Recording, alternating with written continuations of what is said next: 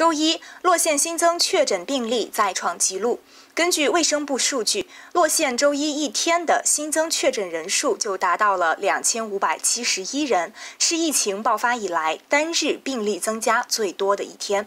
事实上，近一周以来，洛县已有三次单日新增病例超过两千，而且近七天的病毒检测呈阳性比率已经从之前的百分之五点八上升到百分之八点四。也就是说，越来越多的人被检测出感染病毒。而至于疫情恶化的原因，当局表示还不能确定是否与近半个月来的大规模抗议活动有关。但就数据而言，疫情在洛县的传播已经出现恶化趋势。根据卫生部门数据分析，当前在洛县居民中，每四百个人就有一个人携带病毒，并且可以感染他人。卫生官员相信，大规模抗议活动和复工复产确实加重了疫情恶化的风险。